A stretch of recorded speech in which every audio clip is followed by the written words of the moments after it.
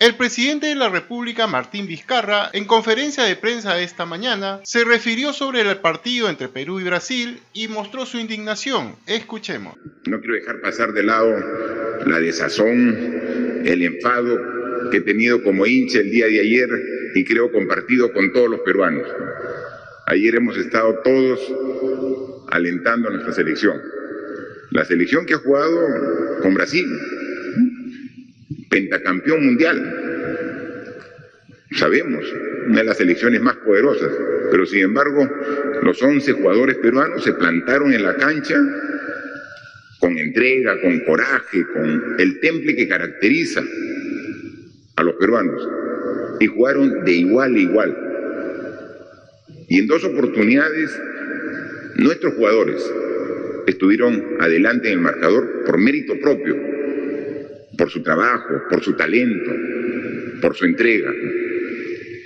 Y lamentablemente tengo que hablar como hincha, como ciudadano. El árbitro nos desequilibra el partido que estaba para cualquiera. Yo creo que un equipo como Brasil no necesita la ayuda del árbitro para desbalancear este partido que todos estamos siguiendo desde nuestras casas.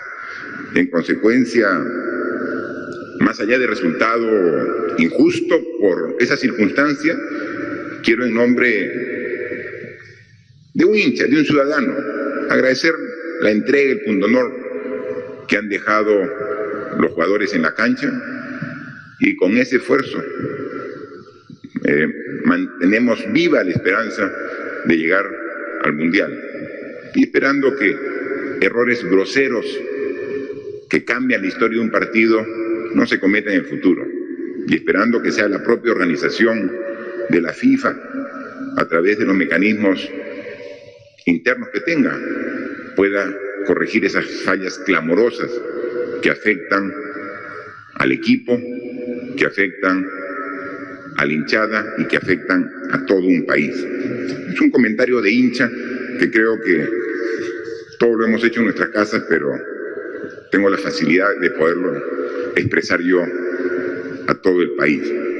Bueno, palabras del presidente Martín Vizcarra, como él lo ha dicho, como hincha también, ante la injusticia que vivimos el día de ayer en el partido. A pesar de la prohibición para acudir a locales a ver los partidos de las eliminatorias, algunos hinchas acudieron a restaurantes en el centro de Lima. Pese a la derrota, el entusiasmo estuvo presente en todo momento. Cuando el hincha lo vive, lo hace hasta la extenuación. Lo celebra a pecho abierto, lo sufre como ninguno. Se perdió, pero nada que reprochar a los auténticos fanáticos.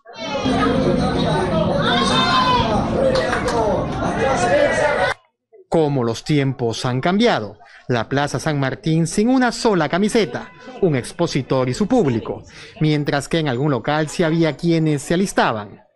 El jirón de la Unión casi idéntico, pero una dama nos enseñaba cómo se lleva la camiseta en las buenas y en la pandemia. Nunca se abandona la selección, ¿no? Claro, siempre hay que animar al equipo. Hay que animar al equipo. Llevar bien puesta la camiseta. Claro, bien puesta. En este punto de la ciudad encontramos el local en donde la afición se concentró con un pollo a la brasa. El himno Canto Sagrado.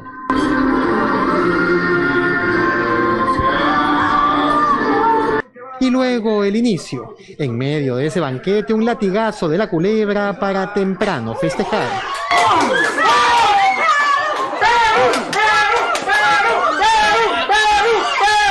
Todo iba bien, pero en el Ecuador de ese tiempo un jalón y el penal. Y pese a que la señora se encomendó a todos los santos, Neymar no perdonó.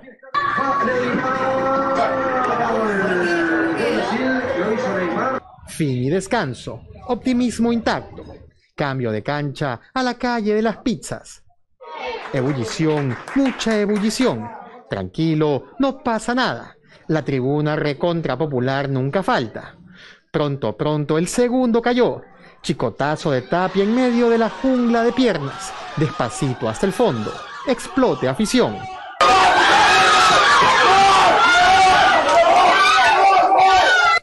Pero poco duró. Llegó el 2 a 2. Nadie lo vivió con más intensidad que ellas. Nadie aguantaba al árbitro, que pitó otro penal.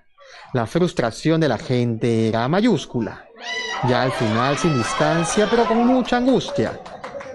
Uno más de Neymar y el final. Robado, Richard, robado, robado. Robado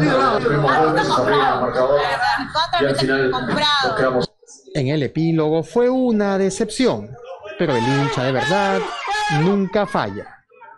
Bueno, el árbitro Julio Bascuñán tomó decisiones generalmente favorables al cuadro brasileño, pero el mayor cuestionamiento a su actuación fue el penal marcado en contra de Perú en el minuto 79 del partido y que significó que Brasil se ponga arriba en el marcador por primera vez en el encuentro. Es la polémica del partido. La del empate y la que nos termina sacando del juego. Minuto 79 y Everton mete el centro por derecha. Carlos Zambrano cubre la trayectoria del balón y el choque con Neymar resulta inevitable. El cobro del penal es instantáneo, como los reclamos, incluidos los del propio central. Desde fuera también se escuchaban los gritos cargados de bronca. Las repeticiones terminan dejando más dudas que certezas. Lo real es que el pedido de Renato Tapia para que Bascuñán revise la jugada en el bar nunca se realizó. Algo que sí sucedió, por ejemplo, en la expulsión del mismo Zambrano por falta a Richarlison.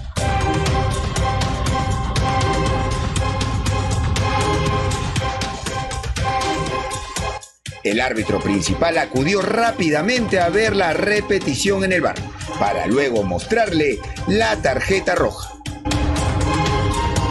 En un partido cargado de polémicas, sumémosle lo del momentáneo 1 a 1, aquella en la que nuevamente Neymar es la víctima, esta vez de un jalón de camiseta de Yoshimar Yotun.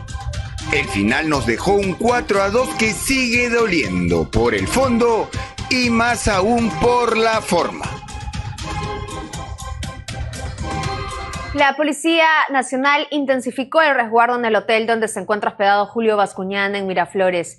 El árbitro chileno que ayer dirigió el choque de nuestra selección ante Brasil regresará a su país en medio de serios cuestionamientos por su desempeño en el partido. Las cámaras de Canal N constataron que al menos una docena de agentes se encontraron en los exteriores de dicho establecimiento para evitar posibles atentados en contra de su seguridad.